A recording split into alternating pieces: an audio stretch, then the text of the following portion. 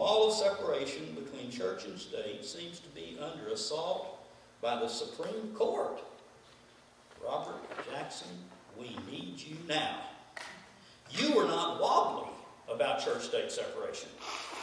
Justice Jackson said in that often maligned Everson v. Board of Education decision in 1948, quote, the effect of religious freedom, of the Religious Freedom Amendment, referring to the First Amendment of the Constitution, was to take every form of propagation of religion out of the realm of things which should be directly or indirectly be made public business.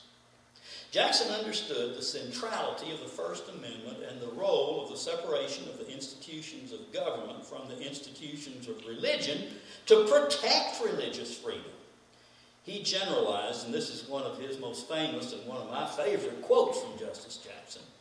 If there is any fixed star in our constitutional constellation, it is that no official, high or petty, can prescribe what shall be orthodox in politics, nationalism, religion, or other matters of opinion, or force citizens to confess by word or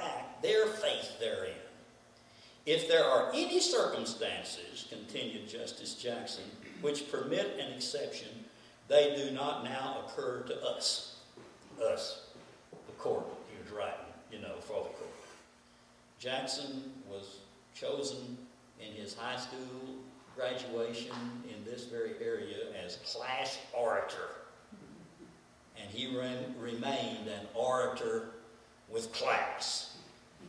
Robert H. Jackson, born 110 years ago, saw himself primarily as a lawyer.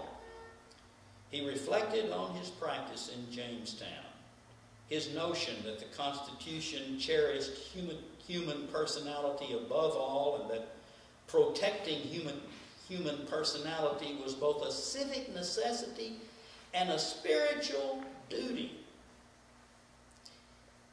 His notion that the Constitution cherished human personality above all, and that protecting human personality was both a civic necessity and a spiritual duty would be welcome today in the very offices he once held Solicitor General, Attorney General, Associate Justice of the Supreme Court.